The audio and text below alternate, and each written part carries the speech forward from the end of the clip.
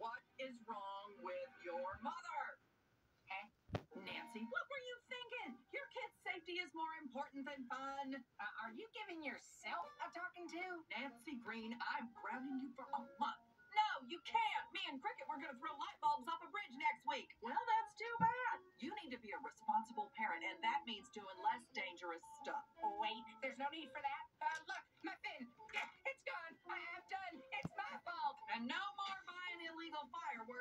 Please stop. I'm begging you. I won't do it again. I'm okay, I'm here.